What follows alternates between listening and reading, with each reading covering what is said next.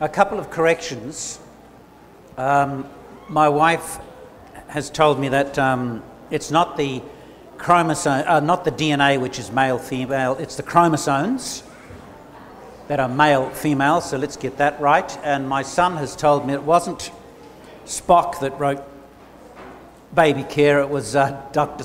Sorry, it was Dr. Seuss that wrote, wrote, wrote The Cat in the Hat, not, uh, not um, Spock. Right, Warwick? Got it, okay.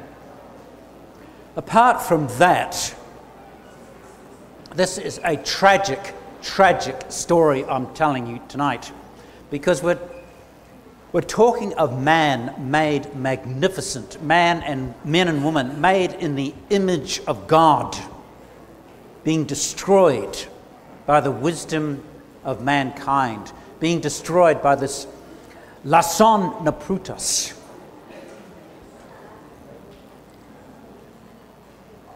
Man being degraded man thinking of himself as an animal and the image of God being destroyed within him. Now, the last lason that goes into the pot is the rise of the globalist left wing progressive elite. So, I've spoken about what has gone into that big black iron cooking pot with a fire underneath. I've spoken about fallen man. I've spoken about the Enlightenment and man's darkened narrative. And I said, remember the name of Jean Jacques Rousseau. I've spoken about the narrative of sexual identity, Sigmund Freud, Alfred Kinsey, Dr. Benjamin Spock. I've spoken about the sexual and the feminist revolution. Last one, number seven, is the rise of the progressive left wing elite. Go back to the general will from Jean Jacques Rousseau. I told you about the general will. Everything belongs to the state, you belong to the state, and the state is led by a leader who will transform mankind.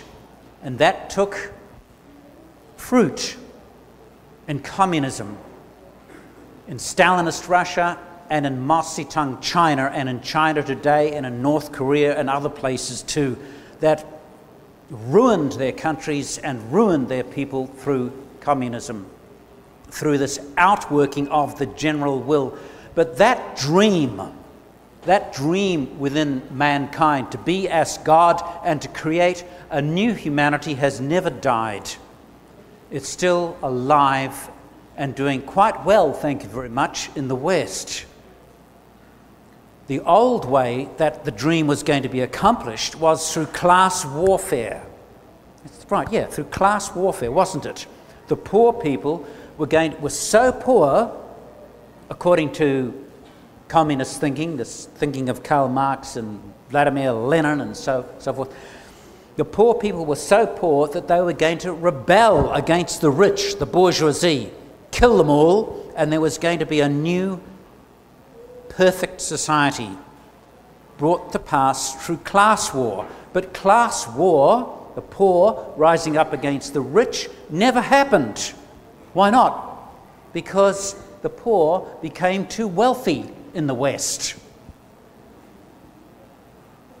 Because Western civilization is so good at making people wealthy. That's why America is one of the wealthiest countries in the world, and so is Western Europe, because those things I mentioned freedom of speech, protection of property, um, the protection of women are all so good, and the other things, uh, equality before the law and an impartial justice system, are so good that when they work, they make a culture wealthy. And if you had more of them in the Philippines, you would be more wealthy. But there, there, never, there never came class warfare because the working class in the West became richer. But that dream of the new humanity, the new perfect society, the new man has never died, and it's still at work. It's still a hope, and I've called it the rise of the globalist left wing progressive elite. The idea, the longing to overthrow the, res- the existing order, the existing order of Western civilization, family, marriage, the Christian church, schools and universities, gender roles, the Bible in the United States of America, the Constitution, and ultimately Western civilization, the dream is still to overthrow that and to create a new humanity. The students of the 1960s, remember I was telling you of the students of the 1960s that went through the sexual revolution and the feminist revolution, and everything I said about free love and gen, uh, be the gender you want and being authentic and do what you want. You are as God, you choose. They became, they have become the professors in the West. They have become the movie stars, the celebrities and in the West, the celebrities speak as gods. And they have become the, the men and women that control the education system and the media managers, the people that run the, the media, like the New York Times and the news anchor woman and anchor men. You know, they sit, they have a, always have a silk tie on, lovely shirt, and they bring you the news and they're paid about $900,000 a year. They're very wealthy. Those people, the controllers of YouTube, the controllers of Facebook and Twitter and the United Nations, they are carrying on that same, that same dream of creating a new society. And the way you create a new society is to overturn the old, the old structures. So, on the hit list, is the family, sexuality, marriage, liberty of conscience, freedom of speech, anything to do with Christians, the Bible, gender roles, and ultimately Western civilization. In my opinion, Western civilization is on the brink, as we say, on the brink, on the edge. I think France, UK, Germany, bye bye they will descend into anarchy. United States, I don't know. Canada, I'm not sure. Australia and New Zealand, I'm not sure. But it's too late for Western Europe. They have gone too far down this road of overturning Western civilization.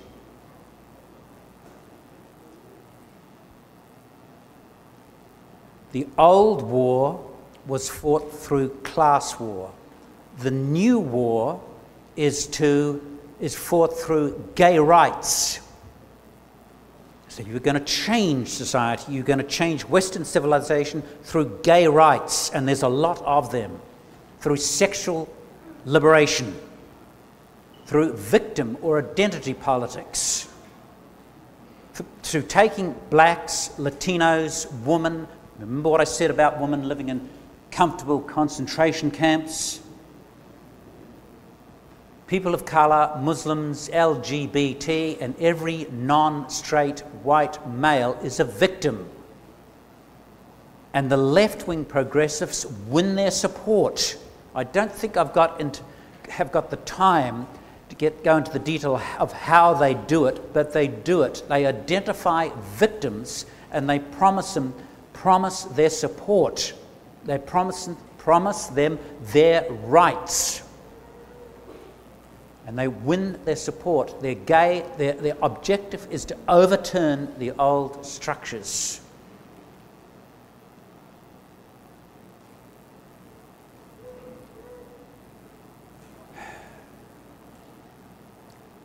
It's a little bit like Men in Black. Do you know that movie?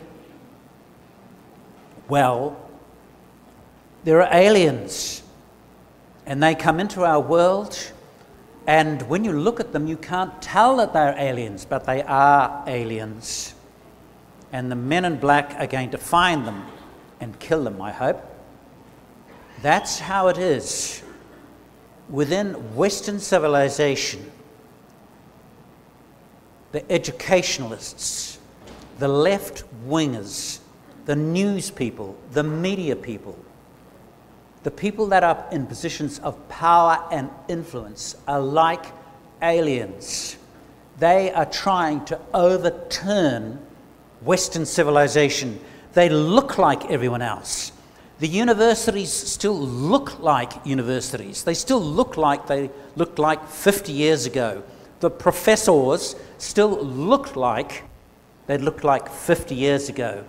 The teachers still look like teachers, but inside they are like the aliens in Men in Black. They are working to overturn Western civilization and what they think is the old, repressive, bigoted, sexist, Bible believing culture. They want that changed. But when you look at them, they look just the same as you or I. What they want is gender fluidity they want sexual identity, this kind of thing, to flourish. They want the Bible to be removed utterly and Christianity to be removed utterly. They tell lies. One of the lies is that Western civilization was built on slavery. That is rubbish. Every civilization, every culture in the world has had slavery. And I would think the Philippines had it also before the Spanish and during the Spanish. As far as I know, every civilization has had slavery. Western civilization has removed slavery three times. Once, that's among our 700 AD, in the early empire, in the early age of Christianity. A second time in 1812 when the British put warships into the Atlantic Ocean and they destroyed all ships that were carrying slaves or turned the back or hung their captain. And again in the United States, which went to war over, over slavery. And 600,000 people died in the American Civil War. But the aliens that look like professors will tell you that the the Western world is built on slavery and sexism and misogyny. It's not true. Okay, so where are we now? In the West, the family has been redefined to be a man and a man or a woman and a woman. It's your choice. In the West, in New Zealand and Australia, Sexuality is a matter of your choice. That's a, your own legal decision. You can make your own ch- decision what you want to be. Marriage can be between a man and a man or a woman and a woman. Liberty of conscience is restrained and restricted.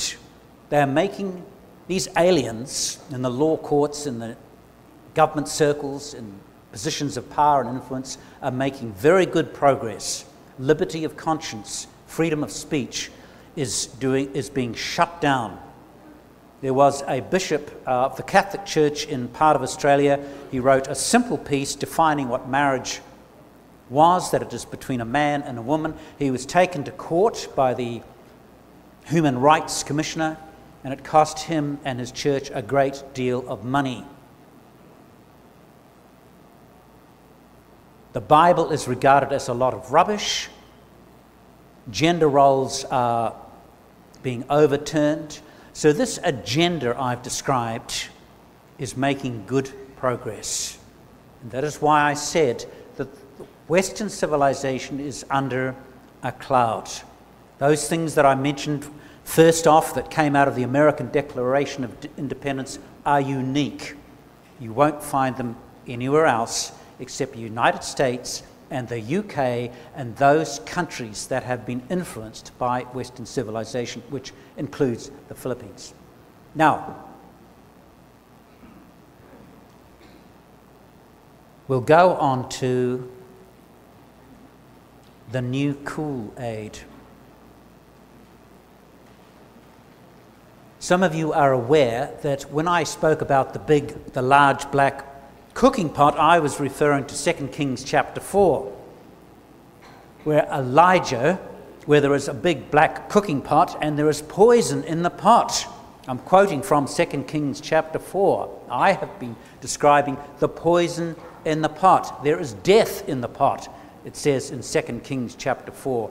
The death, I want to talk to you now about the death in the pot. 2 Kings chapter 4, the death in the pot, the new Kool Aid. You know what Kool Aid is? Do you?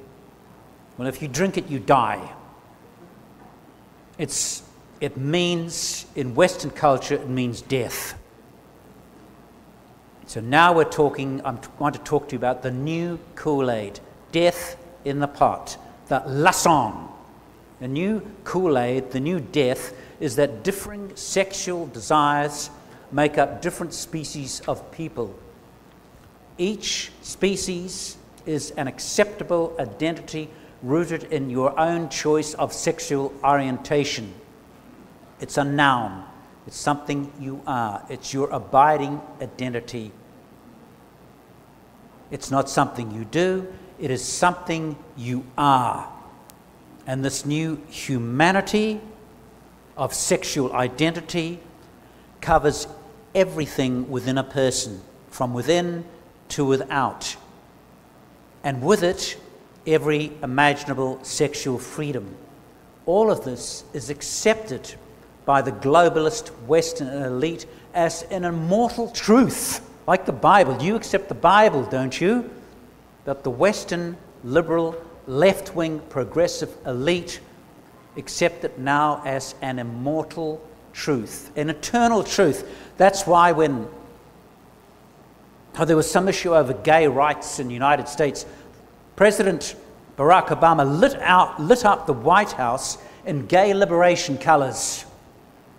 It was a new truth. And if you don't follow this new truth, it's because you are a bigot. You're full of hate. Your feelings are true. Just remember that. Your feelings are true. And no one is to question them. Here's a quote for you The worst thing we can do is to conform to some moral code that is imposed upon us from the outside parents, society, church. Any such imposition would undermine our unique identity, our authentic self, meaning must be found within ourselves and must resonate within our one of a kind personality. That is the new death in the pot, the new immortal truth. The second death in the pot, the second lason, is it makes things very, very, very hard for Christians who have attractions to the same sex. Very hard. It makes it very hard for a person who doesn't want to become a lesbian or doesn't want to become gay because it makes an identity out of temptation. It's like me saying to you, Hello, see Richard Co. I am a greedy Christian you wouldn't like that. You wouldn't think that was good. But with this new lason, if, I, if a person says, I am a gay Christian, is, is accepted as good and true and brave and noble. It makes it very, very hard for people who struggle with same sex attraction. I have no doubt, not the slightest doubt in the world, that some of you struggle with same sex attraction. Two of those books down there that are written by pastors are, are written by men who have same sex attraction. Because we're fallen creatures. We are motivated, our inner desires have fallen, twisted out of shape. It's hard to repent of sexual orientation once it is accepted into society. You can repent of sexual sin. You can try. You, you, it's easier to, it's easy, well, it's easier to repent of sexual sin, but it's harder to repent of sexual orientation once it, it has been mainlined or become a part of our culture. Now, I'm going to talk about the Christian response. In 2 Kings chapter 4, Elijah says, Bring me some flour, and he puts the flour in that big black pot, and the contents of the pot become edible. What went into that big black pot was lason, poison, but he puts some flour in, and it becomes good, nourishing food. That flour, that good, nourishing food, is the gospel. So, this is what you need to do. And I want to talk to you as I would talk to myself. If I was talking to someone who had same sex attractions, I'm talking generally now. I'm talking to you as I would talk to myself, as, uh, or as I would as, advise others. One, go back to the grand narrative of God. Remember, sinfulness marks everyone from birth and is there in the form of a motivationally twisted heart. We are all in the same boat. We are all born with fallen desires. We're all on a level playing field. I don't believe that a person with same sex attraction is down there and and the rest of us who just struggle with greed and looking at pornography are up here. That's not true. We all struggle. We all face sin. We all have fallen desires. We all have secrets, you know. We are all on a level playing field. Someone who struggles with unwanted, unwanted homosexual lust is not more distorted or more broken than anyone else. That's how I see it. The presence of same sex attraction does not mean that the person has sinned more than someone else. We all have feelings that are warped, and we are all of us under the judgment of God that is coming like a train down the tracks and are saved by the grace of God. We all equally need the grace of God. And I believe that given different circumstances, any Christian could potentially face this problem because of the fall. And from this reality, of course, flows the great rescue story of the Bible. That's what it's all about saving, rescuing people who really do need to be saved. So, my second point is you need to step into his story this story. The world has its story. In Australia, our story is the good life. You ought to be living the good life. Consumption is redemption. That is buying things, having things, owning things, is like being a Christian. It brings happiness, it gives enrichment, it gives a reason to live. And that's why we have these great shopping cathedrals with light coming in from the sky. That's just like, it's just like the Notre Dame, really. You go in and you can buy all these things and look at them and see how your life will be enriched. And it's like, it's like being in church. The light's coming down there. You can drink your coffee, and your life is enriched by buying. So we say con- consumption, buying is redemption. And sex is salvation. Have sex whenever, with whoever you want. Be authentic. Be yourself. Follow your dreams. That's what we have in Australia. But we have the true story. And the key to understanding the true story is the word redemption.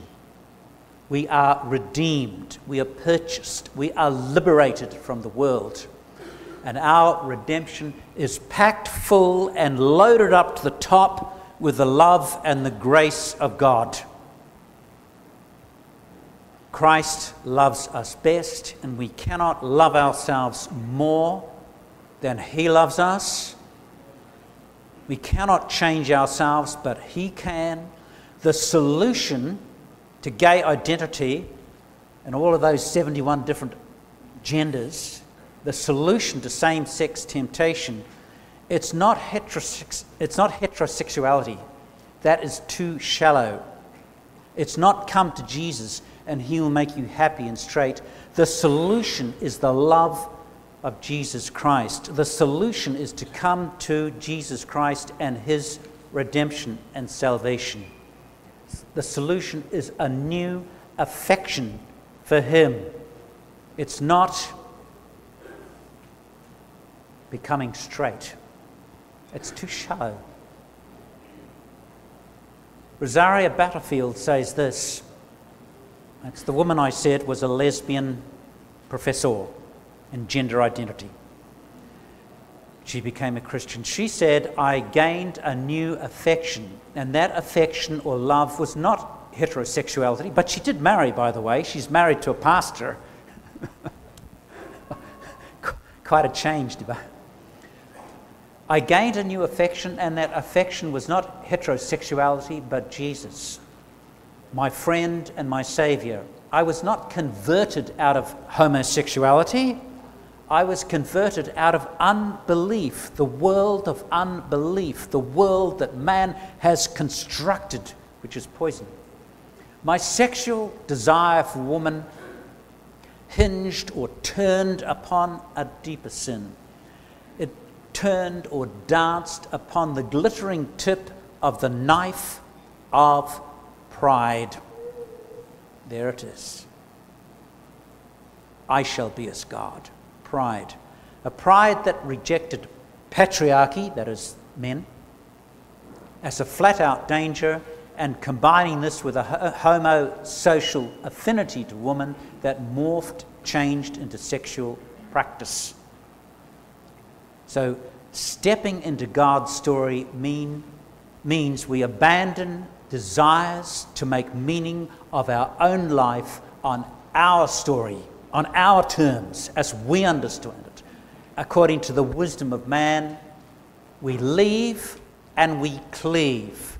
We abandon the world's wisdom, we abandon the world's story, and we cleave to the story of the Scripture.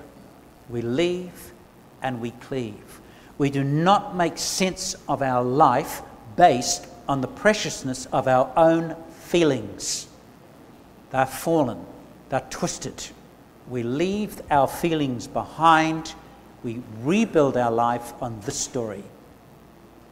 Number three, light the flame of union with Christ. Everything that the world offers with man's darkened narrative is kun wari. We have an identity already, it's in Christ. It's in our union with Christ. Our union with Christ is from eternity. Ephesians 1 4, He chose us in Christ before the foundation of the world. It's worked out in Christ in His perfect life, death, and resurrection. Galatians 2:20 I've been crucified with Christ, Ephesians 2, chapter 4. But God, being rich in mercy, because of his great love with which he loved us, even when we were dead in our trespasses, made us alive together with Christ. By grace you have been saved. You are raised up with him. You are seated with him in the heavenly places in Christ so that in the coming ages to come he might show you the immeasurable riches of his grace and kindness toward, towards us in Christ. In Christ, with Christ, in Christ, with Christ. Our union is with him. That is your real, lasting, eternal union. That is your identity. That's where your identity comes from. It comes from being in union with Christ, chosen from eternity bound up in his life and his death and his resurrection. And that union is dynamic. Ephesians chapter 4 talks about how we are being renewed in the spirit of our minds. That's the new creation. There was a creation which was ruined by sin, by the sin of mankind. There is a new creation. I believe it's a bigger, better creation. And every Christian here in this room is involved in that new creation, and you are being recreated to be like Jesus Christ. Be renewed in the spirit of your mind, renewed, made new. We are God's flawed masterpieces being repaired. We are magnificent ruins being rebuilt. We find life and identity only through God in Christ. Colossians, your life is hidden with Christ in God. So,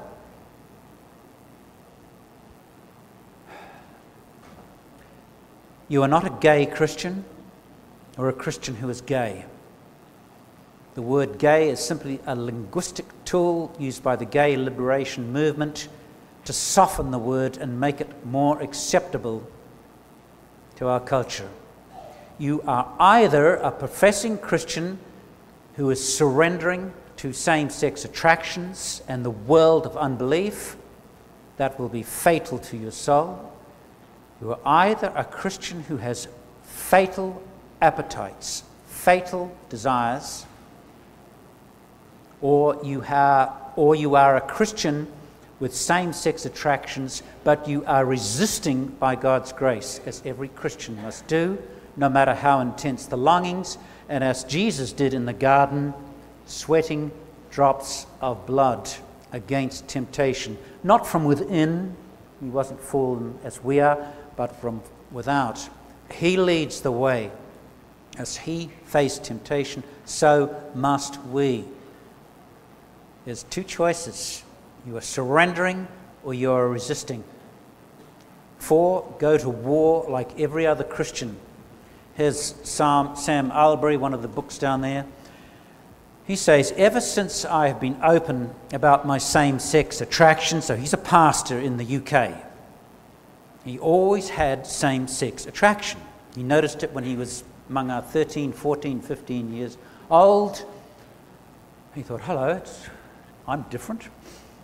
Became a Christian. He said, Ever since I've been open, he's quite open about this. He pastors a church, and his people know he has same sex attraction. He says, Ever since I've been open about my same sex attraction, a number of friends have said, The gospel must be harder for you than it is for me, as though I have had to give up more than they do. But the fact is, the gospel demands everything from all of us. The gospel demands the same thing, whatever temptation you face, which is everything, all no matter what your temptation is. There is no temptation which is easier. The temptation to greed and lust and pornography is endemic in the Western world. It just breaks my heart how many men I know look at pornography in the church. It's bad. It's really bad. Listen,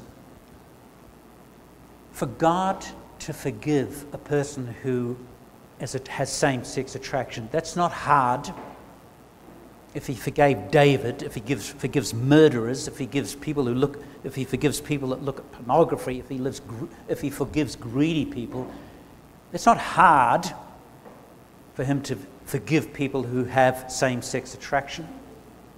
He's just as willing to forgive that person in his love and give his spirit and his help to live a godly life.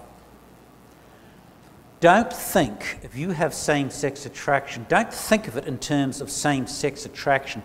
Change the language, change it to same sex temptation. It's just a small change in the language, but it's significant. So then you're thinking, you're not dealing with a an attraction, because an attraction can be good. I'm attracted to running. I like running. I'm attracted to it. I just want to run. But let's change the language to same sex temptation. Temptation is bad. It doesn't always have a bad result. Jesus was tempted, but it's not a good thing in and of itself. So change the language in your head to same sex temptation, as in attracted to greed or murder or lust. Even if it's incredibly intense, that attraction, it can still be overcome. And the scripture says, For if by the Spirit you put, the, you put to death the deeds of the flesh, you will live. You have to put it to death. Because sin will lead to your death. You have to kill sin, every sin. At the moment, we're talking about sexual sin.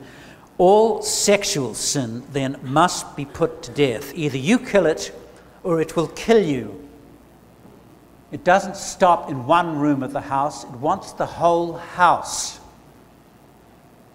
It doesn't stop in your head, it wants everything. That's why James says, excuse me,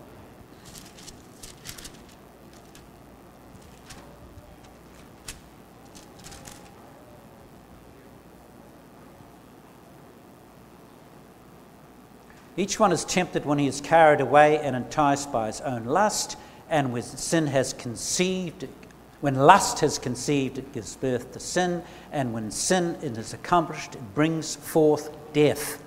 So when you sin, let's say you sin sexually and look at pornography, you don't die straight away, but you're on the way.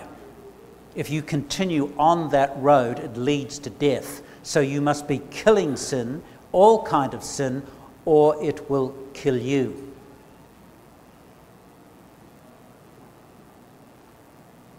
If you look at porn, because you come home and you're tired and you've had a bad day and a busy day and you just want to relax and have a few minutes to yourself and just just relax and just just just relax that will kill you. You have to put it to death. You must stop it and put it to death.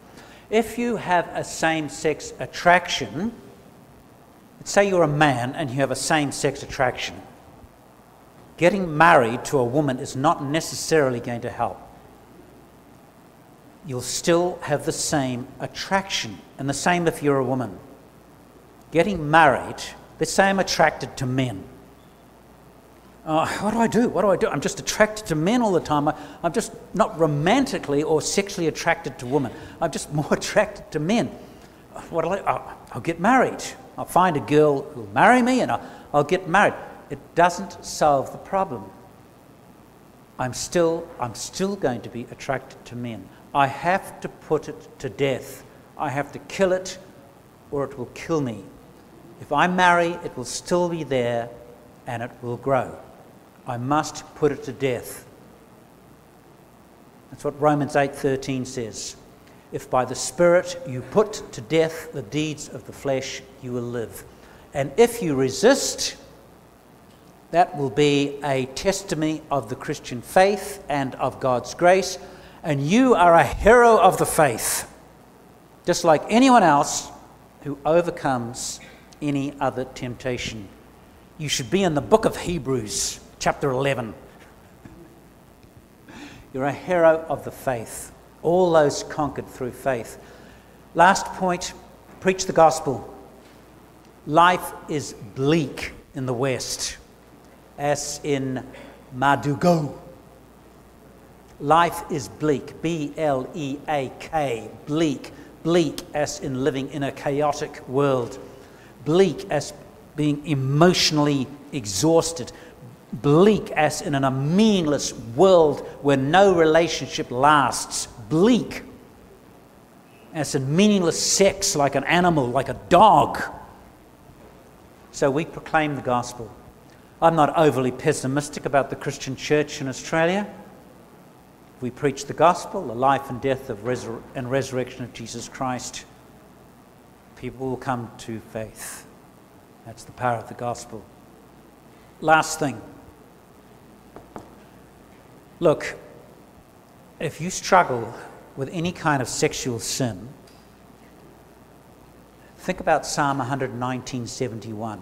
It is good to me, it, it was good for me that I was afflicted, that I may learn your statutes. It's not a, it can work together for good because as we struggle against temptation, as we struggle against the affliction and the curse of sin, we come closer to God. We learn his statutes. That's what Jesus did, not with, from within, but he learned obedience through the things that he suffered. So with us. So will we. As we struggle and overcome, we will be enriched. The end.